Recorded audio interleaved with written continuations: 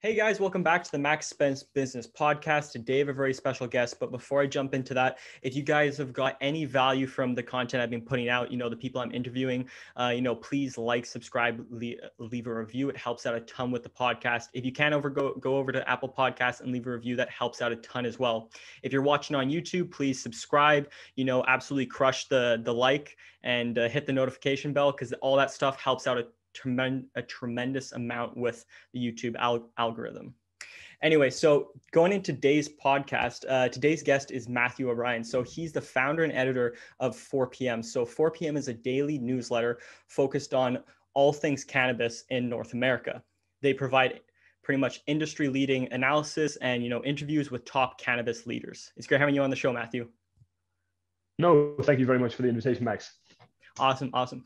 So why don't we jump into, uh, you know, for people that maybe haven't come across your content before, I know you have, uh, I believe you have got over 14,000 on LinkedIn. You got like, you know, you, you got, uh, you know, a, a, a, decent brand on LinkedIn around the cannabis space. Um, why don't we sort of take it from the beginning? You know, how did you get into, uh, you know, the cannabis space and, uh, you know, and then, you know, moving over to the North American market? Yeah, so for me, my, my journey into the industry started off reading a book called Narconomics, which lays out a pretty pragmatic argument as to why we as a society effectively need to legalize all drugs. And what I appreciated most about this book in particular is that it wasn't trying to make a moral argument as regards, you know, the moral implications of the continuation of the war on drugs, you know, which I, I, guess could be a very strong argument in the sense that it does disproportionately target minority communities, people of color, but this book in particular just laid out the argument to end the war on drugs from a very economic standpoint. And it just laid out the fact that at the end of the day, you know, criminal organizations need to pay their people. And in order to pay their people, they need to generate profits first and foremost. And the current channel which they actually use to generate these profits is the the illicit substance market. So whether that's cannabis, whether that's you know any array of substance, methamphetamines, you know, cocaine, it's a, it's a long, long list. And what I just appreciate about the book was that it was a very sound argument from the standpoint of economic principles. And I just came engulfed with this idea that we were effectively being thought that, you know, all drugs are dangerous when in actuality, you know, drugs play a huge part in our day-to-day lives, whether that's the consumption of products that have high, you know, sugar content, whether that's products that have, you know, very high caffeine content.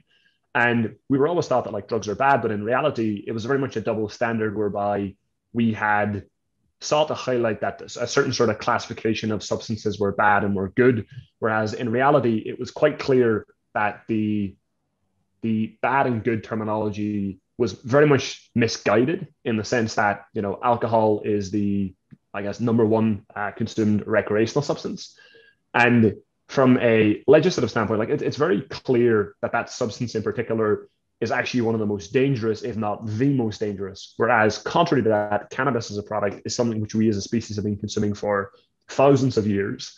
There has never been a known fatality associated with the consumption of cannabis. And, and with that, I just became very curious as to what the world would inevitably look like at the point in time which we decided to take a more common sense approach to, to cannabis and more broadly just substances in general. So with that, decided to move to North America when I was 19 years old and started off in the, the industry working as a bud tender. Eventually worked my way up to, to managing stores, started managing supply chains, spent a bit of time thereafter working on the software side of cannabis, and then most recently working on 4PM, which is really just a, a media company for cannabis professionals more specifically. I actually like the the topic that you brought up there was uh, with like the legalization of drugs and like uh, you know how the governments are going around it, right? And, and I and I sort of agree with you. Is like um, I think the majority of drugs should be regulated because if they're regulated, then they can be better controlled instead of just being um, you know just being sort of blocked and you know there's like because pe- like to be honest like people people are still going to use drugs like at the end of the day people are still going to use them right but i mean if they're able to get something that's actually not laced with something that's even more deadly um, that can actually kill them or you know doesn't like you know for the certain dosage amounts um, you know it's like either more potent or whatever right um, mm-hmm. you know like that that that's going to be that i i believe that's going to be better for the pe like people's health and stuff like yeah pe- people shouldn't use drugs but i mean people are still going to use drugs at the end of the day. People are still going to drink. People are still going to eat fast food. It's just you know, it's it's just part it's just part of being human, right? Uh, but th- that that's actually super interesting. What what what book was that again? It's called uh, Narconomics. I'll see if I can get the author of that book when we're actually on the call. But um, highly recommend it to anyone and everyone in the sense that it's it's definitely the book that has, I guess, most strongly influenced my perspective on just the world around us. The, the name of that author is do do do I believe it's Tom Tom Wainwright is the name of the author of that book, and I said highly recommend it to, to anyone and everyone who's interested in the industry. I think it's a I think it's a very good starting point to approach the industry from. Like, there's a lot of people who are still struggling to understand the industry, and probably for good reason because like cannabis is by nature like one of the most complex substances known to man. It's such a multitude of molecules that are present in the product. But um, as a starting point for someone who's sort of seeking to understand like why is legalization happening at the rapid rate which it is, I think that's a must read for anyone. Yeah, yeah, yeah, hundred percent. It, it seems like it's a, a very a very knowledgeable book. Um, so now now sort of moving to uh, when you came to uh, Canada and, and, joined the sort of cannabis industry, uh, I, I, believe you yeah like like you were saying you joined in 2017, um, and uh, at that time like uh, cannabis wasn't legalized. So h- how was that working in an industry that like that must have been uh, it must have been in, very interesting to say the least. Yeah, for sure, for sure. Um, a lot of good, a lot of bad. A lot of good in the sense that at the time there was definitely a risk factor, and that risk factor attracted a certain sort of profile um, of people. In that, a lot of the people who were involved in the industry in the earliest days, they weren't in it for the sort of financial opportunities that have become more and more clear as, as time goes by. A lot of them were just in the industry because they felt that, you know, we have the right to have access to these products and that the current prohibition was unjust. And the way in which they were going to sort of undo that was civil disobedience in the sense that they were going to openly consume the products. If the police wanted to arrest them, so be it. But they wanted to make it abundantly clear that this was the utmost waste of resources. So in the early days, you know, very interesting in that a lot of the people were extremely passionate about it.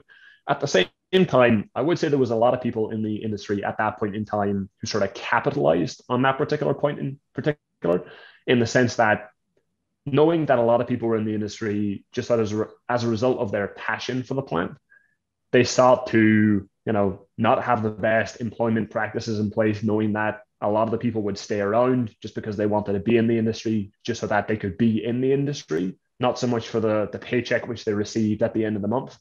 So uh, definitely a very interesting time. I feel like I got sort of exposure to the best version of the cannabis industry and the worst at the same time. Best in the sense that from a supply chain standpoint, very much a sort of laissez-faire supply chain. Like we had, you know, relationships with a multitude of suppliers, some craft growers from Ontario, some craft growers from, you know, the Okanagan.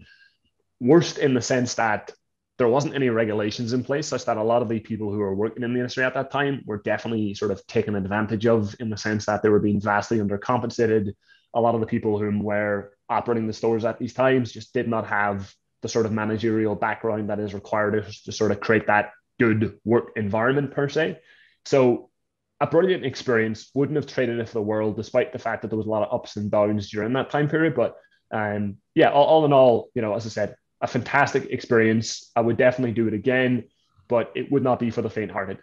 Yeah, yeah, no, hundred percent with that. Um, yeah, so like I, I remember hearing um, like if if if you um, so as a bud tender, like if, if the police like raided your location, I, I don't know if this is true, uh, but if the police raided your location, you, if as you are the bud tender, you would get actually get slapped with a fine or the right. jail time and the and the owner who wasn't on site wouldn't get any like ramification for that. It, it, was that true?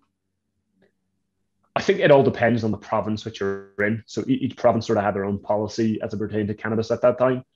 In Ontario, they were very much seeking to disincentivize any sort of normal personnel, not normal in the sense that like you're not coming in with you're not investing capital in the space, you're not operating a store, normal in the sense that like you're just a a bud tender, perhaps an assistant store manager, or maybe even a store manager. So the way which they sought to disincentivize those people from actually working for the individuals who were operating these businesses is that they they specifically targeted those individuals from a criminalization standpoint. Yes, there was fines. Yes, there was you know in, in certain incidences criminal records uh, dished out to those individuals. In British Columbia, in particular, we were very fortunate in the sense that the municipality of Vancouver and Victoria had a certain level of foresight to identify that legalization was going to happen within a very short period of time. Uh, and they sought to license a certain number of stores ahead of time, such that when legalization did come into effect, they could effectively streamline the process because they already had gone through the licensing process with a select number of stores. So for me, as an immigrant and an individual who was on a visa, which would have resulted in myself being deported had I worked in a store in Ontario, if the store had been raided, I decided to work in British Columbia such that it just offered a little bit more security. Like if the store did get raided, it would only be raided by virtue of working in a store that hadn't received one of those licenses. So for myself, it was really just about finding employment in one of the few stores in Vancouver who did have the municipal license at the time. Yeah, yeah, that that that that's actually crazy. Um, that like, uh, well, that that that's actually crazy to sort sort of like live live in that sort of environment where, where like the possibility of being deported for you know like now now i sort of think about it is like every weeds become sort of like uh almost you know is, is sort of become the same as as alcohol now right? It's like it would be similar to like let's say somebody going like in ontario somebody going into like the police going into the lcbo and you know finding one of the keepers there or something like that. It would be crazy. Right. Um, but yeah, like I, am actually happy that Vancouver had sort of some of the foresight to sort of like be like, hey, you know, like you know how, the how culture is moving and you know how the general like population's is sort of outlook on this sort of industry is changing. Uh, we're actually going to start, you know, um, giving out some, you know, like uh, registrations for the shops, right? Uh, so how how did that change once uh, once the legalization came into effect?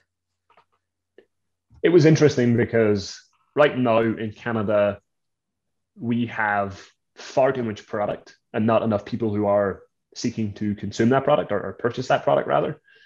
My understanding is that right now there is 10x the supply than there is demand of legal cannabis products in the Canadian market, whereas the opposite was true in the early days.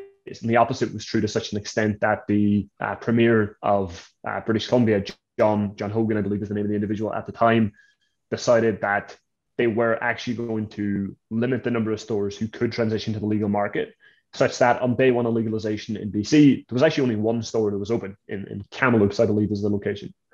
And what that meant for the stores which I was working at was that there simply wasn't enough supply of products available for them to transition their stores into the legal market. And effectively, what that created is this sort of uncertainty as to whether these stores were actually operating within the sort of confines of the law, the law as, the, as was defined by the, the province as opposed to the uh, the nation of Canada. The nation of Canada said pretty explicitly from day one, any stores who are operating in the illicit market should should show, should close their doors. Whereas the municipalities were a little bit more, I, I guess there, there, was a little bit more uh, room for sort of taking their time with that transitionary period.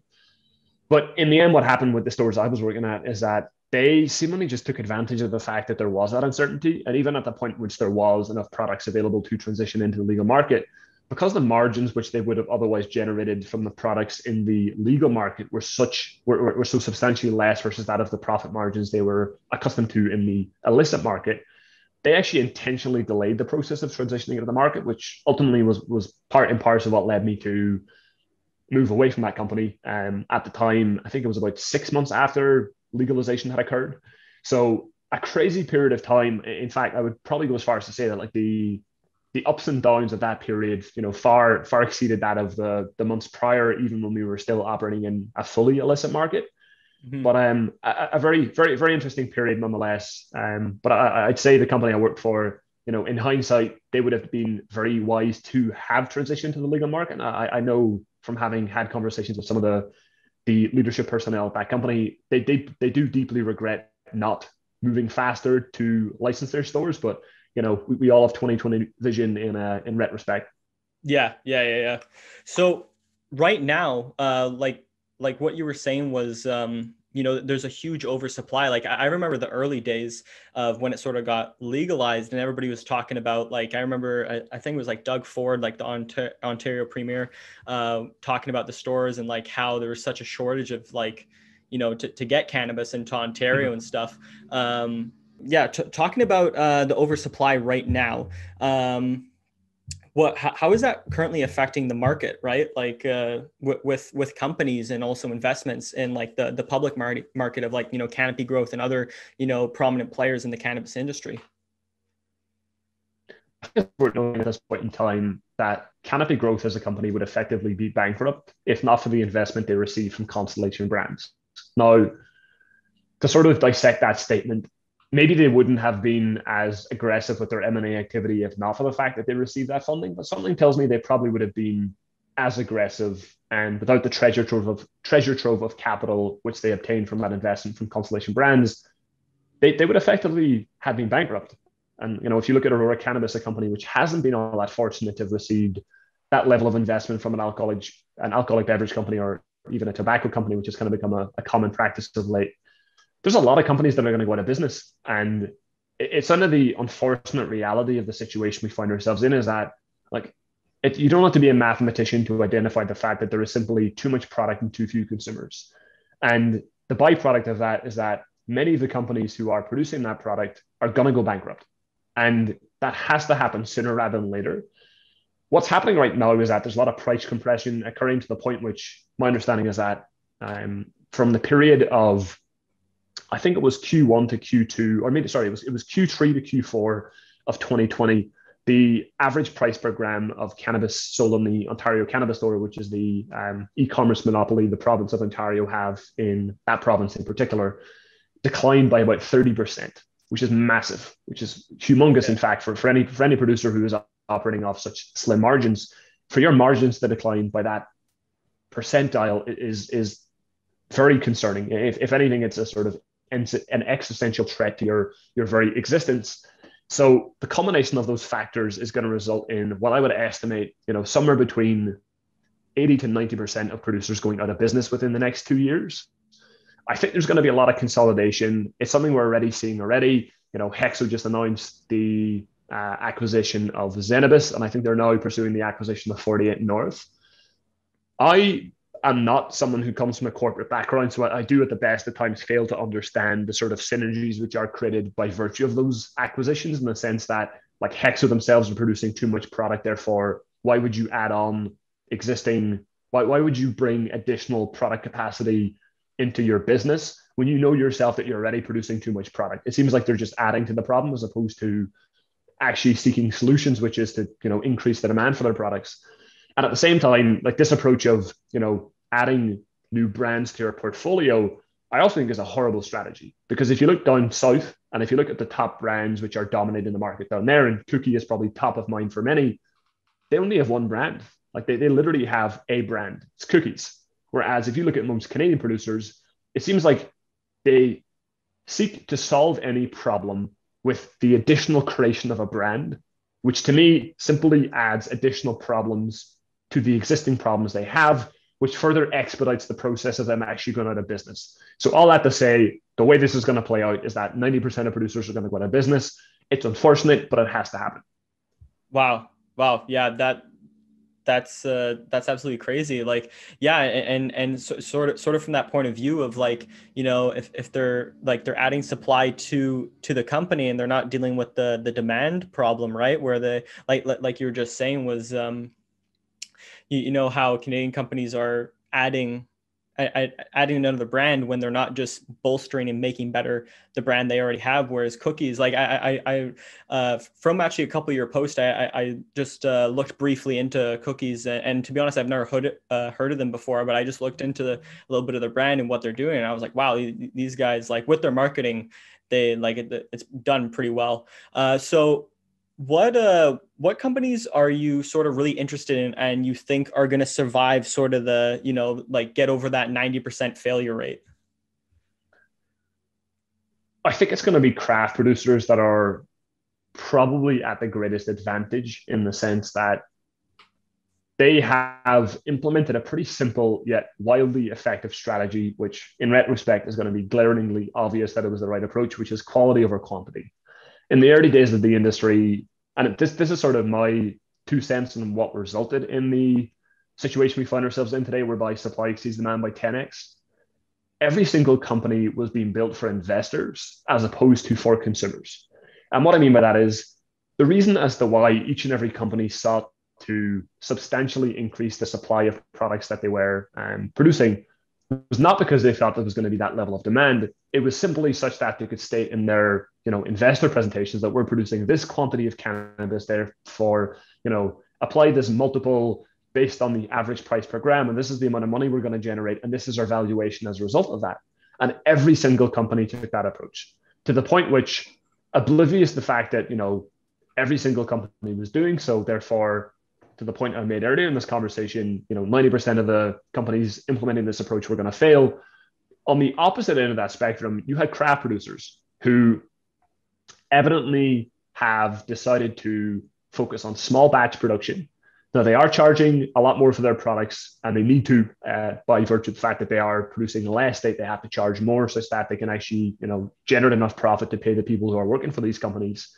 But all in all, I think craft producers stand a really good chance of success.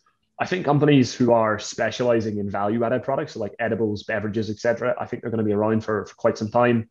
My sort of two cents more broadly on the trends we're going to see play out in the Canadian market in the forthcoming years is that we're probably going to reach a cap pretty soon as to the number of consumers who are actually interested in the combustion of cannabis, i.e., dried flower.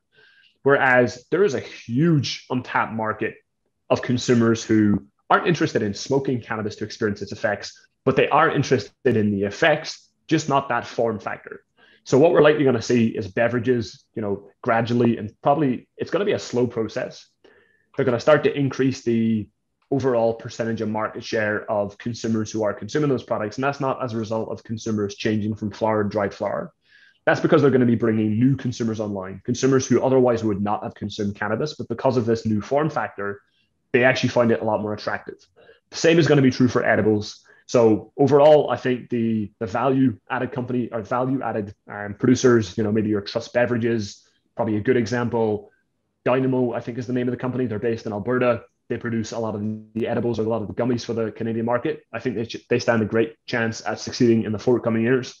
But for a lot of the companies that are currently focused on dried flower and producing it in in bulk, I think that their fate has largely been sealed. And regardless of what set of actions they take, the businesses are either going to get a lot smaller or they're going to be out of business full stop. Ah, okay. Okay, yeah, yeah. That, that those are actually some really really interesting insights. Like to, to be honest like I, I i know a tiny bit like a like like a tiny amount about what's happening in the industry but like just having you on the show for like the past 15 minutes i'm like i'm like holy crap this is like this is absolutely insane with like what's happening with the market uh the oversupply and all that other type of stuff. Like i i i, I didn't even actually know it, like any of this stuff like you know what was happening with like actually existed and stuff. Um so that, that, i'm a bit of a nerd when, when it comes to cannabis. So um, I'll, I'll, apologize in advance. No, no, no, no. I, I, I absolutely love it. Like it's, it's, it's so like, um, you, you're very concise with your information. Um, and you know, you, you articulate it really well, which I love. And it's like super easy to digest and understand. So it's absolutely amazing. Um, I, I and, and that's probably why you're doing so well on LinkedIn right now uh, and you're growing so fast is because you're you're so concise with like the message that you're putting out there. Um, so actually moving over into that, uh, you know, starting uh, 4 p.m. Um, you know, how, how did that come around? And uh, yeah, how, how, how did that sort of start? For sure, for sure. And to be honest with you, like I kind of give like many iterations of the story, which resulted in my creating 4 p.m. So here, here's a different version of events, and this is this is because largely speaking, you know, at the time, it wasn't really clear why I was starting the company as much as I thought it was just a really good idea for a sort of multitude of reasons. But at the core was largely my desire to build a network within the industry. So for myself, when I decided to step away from the company I was previously working at, I decided to pursue a software startup. And I still think the idea we were working on is probably going to be a billion dollar company someday, which, which you know, perhaps I, I'm biased because I worked on this trying to solve this problem for as long as I did, but without going too far into the the weeds, no pun intended, the realization I had pretty early on was that I did not have anyone of a network in the industry. And the thing about our industry is that, albeit it's you know expanding at an incredibly rapid rate, there still is a very sort of tight knit community that exists within cannabis. And if you can somehow become part of that, you know you gain access to this wealth of knowledge, which you otherwise wouldn't even have known existed in the first place. And for me, I just was really motivated, for lack of a better term, to to gain access to that sort of wealth of information, which I knew was out there, but at the time I just didn't have. And similarly, I had an experience on LinkedIn whereby, you know, in the beginning, as we were working on this, this soft application, and I started sending people messages, like not a lot of people were replying. And I didn't really understand that at the beginning, but it was only when I started creating content myself, and then I started to get, you know, a ridiculous amount of messages on a daily basis.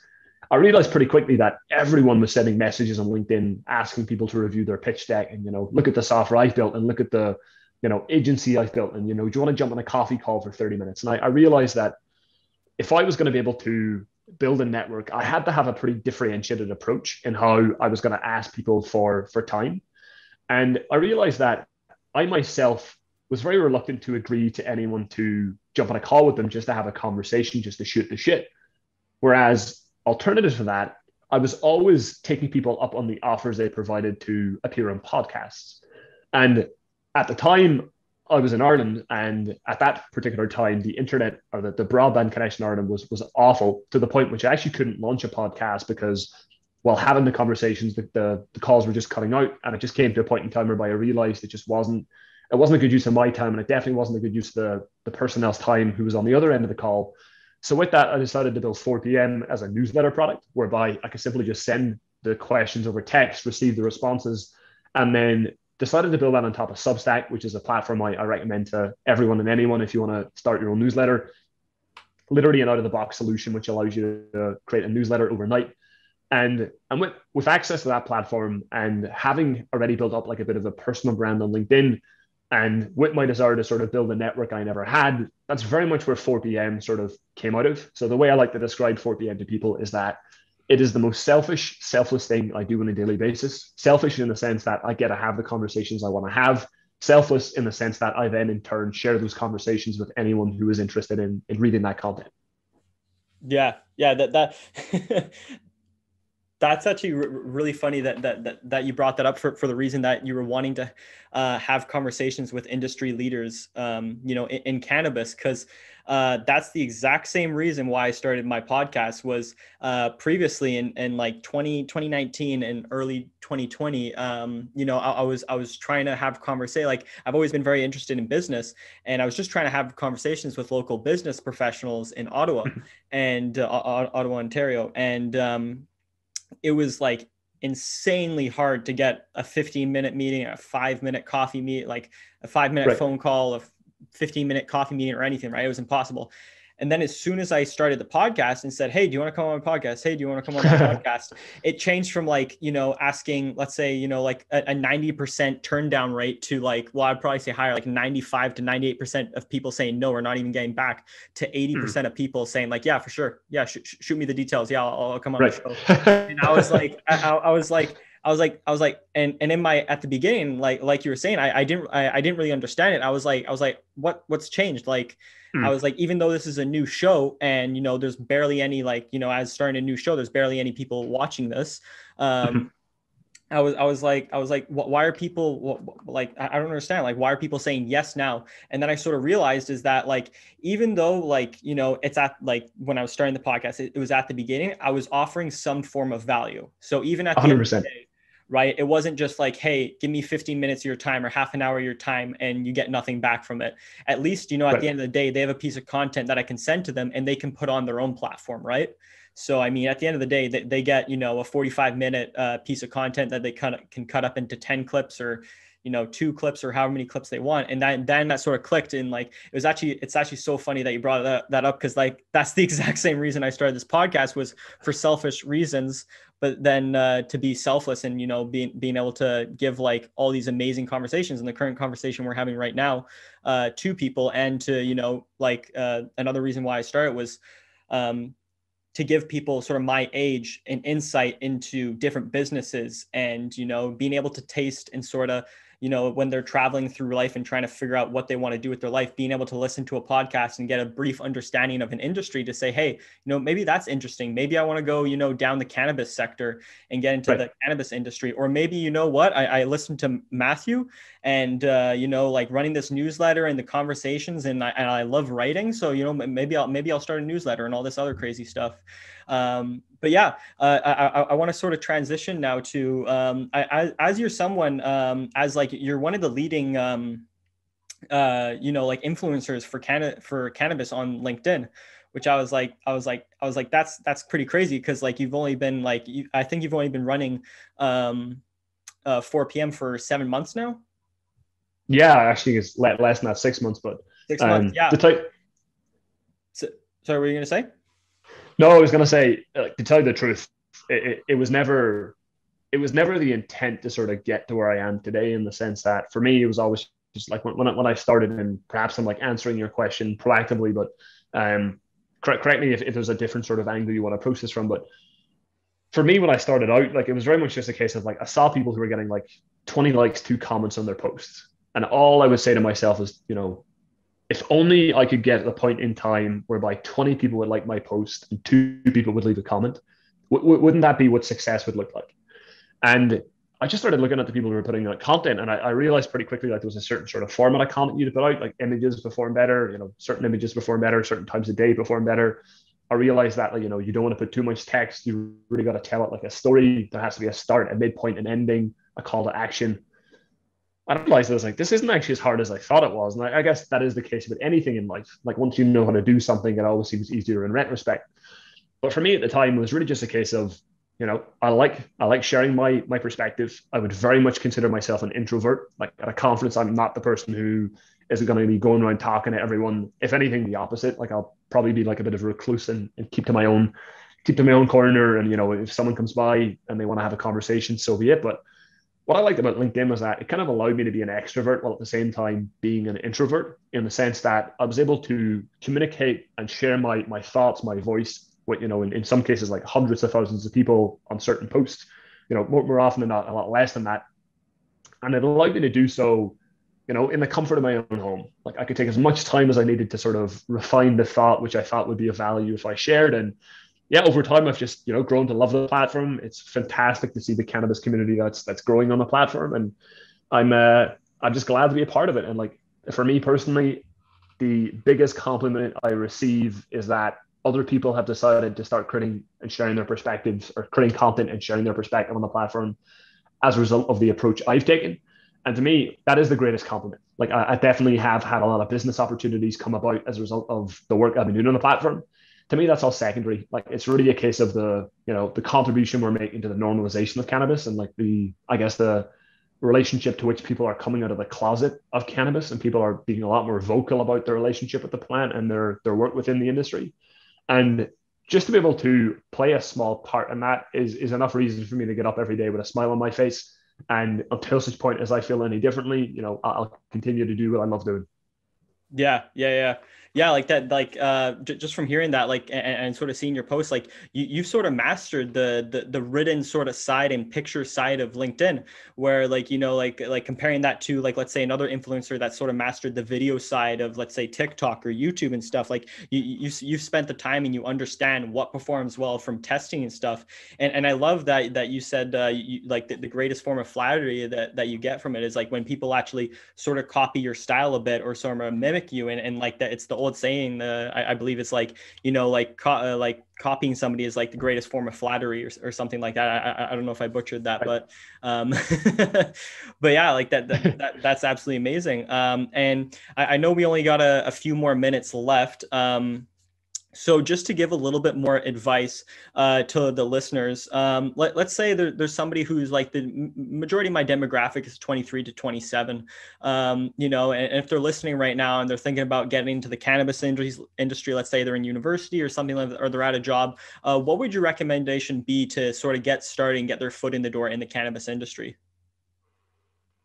Yeah, I should say like I, I myself am only 23. So I, I was in conversations like people sort of are of the perception that I'm like 30 or, or 40 or something like that. Like I literally started in the industry when I was 19 and I'm very fortunate to have had the experiences I've had and you know by virtue of having had the means to experience the illicit market it really compressed a lot of the learnings I would otherwise have had to spend a lot more time obtaining but the advice I'd offer to anyone who's sort of on the fence about you know joining the industry I, I'd say go for it like the reality is that this industry is currently the smallest version of itself. And by smallest version of itself, I mean, you know, 98% of nations around the world currently maintain the prohibition of cannabis. In our lifetime, I suspect the percentage of nations who will have an adult use market for, for cannabis will be far in excess of 70%. So from where I'm standing, the upside of this industry is at least 10x from where they are today. And if you're if you're someone my age and you kind of have like similar characteristics that I do, and you want to like travel across the world and you want to be able to, you know, acquire a skill set that has relevancy across multiple sort of geographic areas, while at the same time doing something you're actually interested in. And an industry that does not have ageism and that, that for me was a very important factor in the sense that like i was managing you know retail stores when i was 20 years old. There's no other industry which i'm aware of whereby a 20 year old you know immigrant from ireland could have been managing you know 30 odd staff members at that age and what it really comes back to is that the industry in its current form is in need of a lot of talented people because for a lot of the older demographic, they still have the sort of pre-existing stigma as to what they think cannabis is, whereas in reality, you know, they are entirely wrong from where I'm standing as the fact that they think it's this dangerous product.